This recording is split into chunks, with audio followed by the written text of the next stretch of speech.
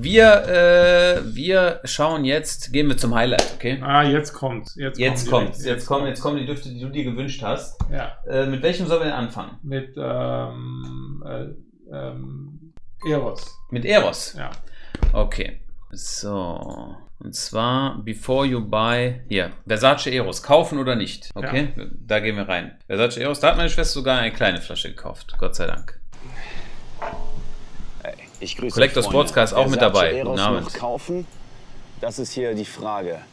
Ich habe hier beide Versionen und mittlerweile glaube ich leider, dass die Eau de Toilette Version reformuliert ist. Das hier ist die Eau de Parfum Version. Ich habe die jetzt zweimal getestet und ich habe irgendwie das Gefühl, dass die hier reformuliert ist. Ich hatte in Deutschland immer noch so eine alte Oldschool-Flasche und immer haben mich Leute gefragt, hey, ist Versace Eros reformuliert, hält der nicht mehr so lang?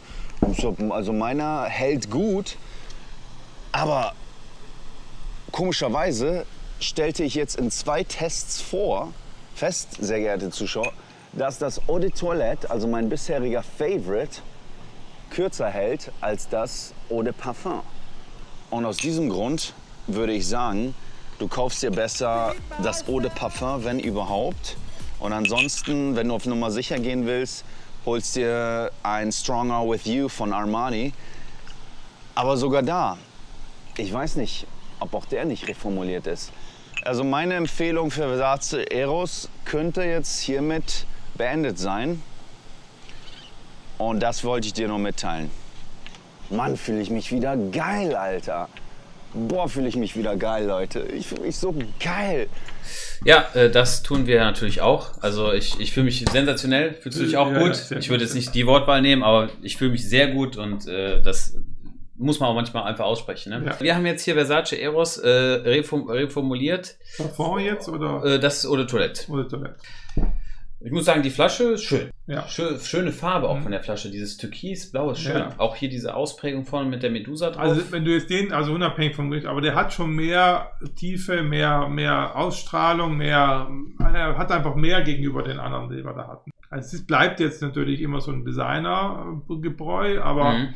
also ist schon, Mhm. also ich finde den, also ich würde jetzt immer, wenn ich jetzt da jetzt reingreifen müsste, dann würde ich bis jetzt, was wir bis jetzt hatten, es kommt noch was, was ich wahrscheinlich nehmen würde, aber lass mal jetzt mal hinten sagen, würde ich, würde ich den nehmen. Also und ich finde das, also Findest du interessant? ja. Findest du interessant? Also für mich ist sowieso Versace ähm, die Marke, die so ähm, in dem Bereich eine ganz gute Kollektion hat. Die haben also viele Düfte, die eigentlich gut sind. Also Mhm. es ist nicht so einer, der da raussticht, aber die haben viele Düfte, die, die eigentlich ganz gut sind. Okay. Also wenn, wenn, wenn man so blind greifen würde, glaube ich, dass man bei Versace eher was findet, was den anderen hier. Ja, ich weiß, den habe ich da, aber wir machen, Ah. bevor wir uns das Ah, letzte. Video anschauen, einen Duft, den habe ich auch fürs Badezimmer geholt. Ja, Und zwar, ich mag ihn. Egoist ich auch. Ja. Ich mag ihn. Also Ja. Chanel Egoist äh, ist ein Duft, äh, entstand, äh, First Release was, äh, war, war 70er Jahre, glaube ich. ja, ne? ich habe den ja, jahrelang getragen. ja, jahrelang hast du ihn getragen. Ich, ich, ich weiß nicht warum, aber ich, ich nach wie vor, auch heute noch so die DNA. Jahrelang habe ich den getragen, ja. Chanel Egoist nach wie vor.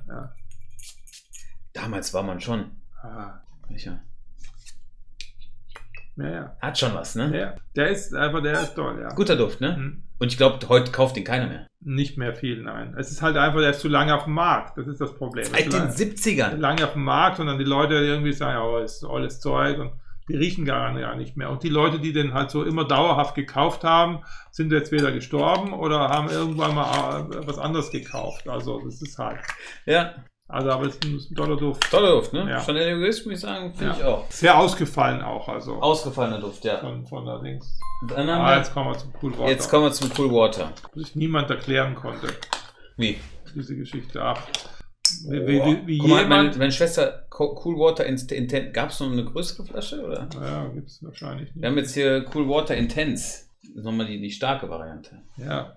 Also ähm, das Cool Water konnte sich niemand erklären, wie ein Zigarrenhändler aus Genf mit einem kleinen Laden über die Parfums so berühmt werden kann. Also und daran hat man gesehen, dass eigentlich der Name relativ uninteressant ist. Es kommt darauf an, wie das Marketing funktioniert, wie der Duft ist und so weiter und so fort, weil es hat keiner gekauft, weil es eben äh, Davidoff drauf stand. Das ist kein Ronaldo. Ah, das meinst du. Ja. Genau. Das ist also nicht jemand, der, der durch den Namen äh, oder Versace oder Chanel oder sowas, was durch den Namen mit Sondern damals- Davidoff, was ist das? Ja, es ist, es ist immer, also ich finde immer noch, es ist ein, ist ein Klassiker in der Art. Kann man natürlich ja, absolut Kann man nehmen. kaufen. Kann man kaufen. Kann man kaufen. Kann man tragen. Ist, man, man ist natürlich jetzt nicht, äh, Man ist nicht einzigartig. man sollte nicht sagen, dass man Cool Water trägt. Aber, aber kann man tragen. Kann man tragen. Ja, ja, ist schon, ist schon, immer noch. Definitiv. Dann, So, äh, Dann ja. machen wir noch hier, haben wir noch einen und zwar La Nuit de l'Homme. Ja, das ist ähm, wahrscheinlich mein Liebling da. Also Nein. Ja, ja, ja, Das ist dein Liebling? Ja. Jetzt, äh, da muss jetzt aber was passieren. ja, Da muss aber jetzt wirklich was passieren. Wenn du sagst, da, Also wenn ich jetzt einen Designerduft kaufen würde und ähm, also ich würde einen Egoist kaufen, weil ich sage, auch den habe ich doch früher immer getragen und so, würde ich den kaufen. das ist ein guter Duft. Das ist nicht schlecht, ja. Ist okay. Ist okay. Kann man machen. Also Flasche und so gefällt mir jetzt nicht so sehr, muss ich sagen. Ja, Also, äh, aber, nee, aber der Duft ist okay. Frischer. würde ich, würde ich kaufen. Aber der hat doch keine Haltbarkeit. Nein, aber es, äh, es erwartet ja auch niemand. Also das, also bisher, ich sag, die Leute erwarten das schon, Hier aber wartet niemand. ja, aber, aber, aber die, die, die, wenn jemand in der Klasse kauft und das benutzt, dann ist es eben so, ist er das gewohnt. Wenn jemand dann anfängt mit Nischenmarken und deren Haltbarkeit und deren Performance kennenlernt und dann das vergleicht, dann tragt er das natürlich nicht mehr. Okay. Aber solange du in, der, in dem Bereich bist und es vergleichst mit den anderen, die wir jetzt alle probiert haben, das sticht der ja nicht ab. nee, das stimmt. Also deswegen, sie sind alle auf einem Level, plus minus, Ja. würde ich sagen. Gehen wir in das letzte äh, rein und zwar Versace Dylan Blue hat oft Platz gefunden in den bei Jeremy auch, ne? Und Ja. äh, war ist auch ein älterer Duft. Ja, ja. Wir hören rein. Ist, glaube ich, auch einer der erfolgreichsten. Before you buy Versace Dylan Blue, first thing you should know, it's not original. This is a not original fragrance. It's a mix of a Dior Sauvage, it's a mix of a Acqua di Gio Profumo. It's nothing unique, so keep in mind, it's not a unique fragrance. Second thing you should know, it's a fantastic price value proposition.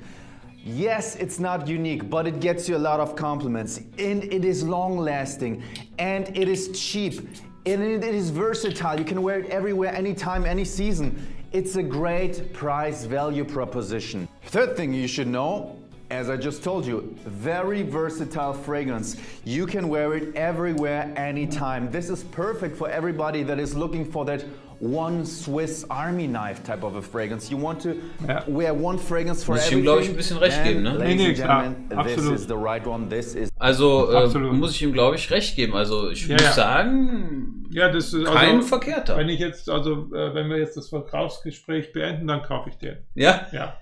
Ja, den würde ich jetzt mitnehmen.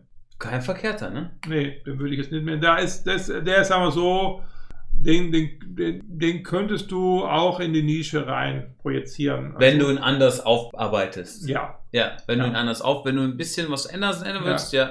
ja. Ist mir zu synthetisch, schreibt einer. Ja, natürlich, klar, aber, Aber das das ist ja du auch- rein. Also wenn ich jetzt einen auswählen würde, würde ich den nehmen. Also der wäre für mich so der, das, dass ich jetzt da aus der, weil die anderen hatten alle so ein bisschen was und irgendwie war es nicht so. Also für mich Nummer eins der, Nummer zwei blöde Chanel und äh, Nummer drei dieser ähm, Egoist und äh, Yves Saint Laurent, La Nuit de l'Homme und dann die anderen.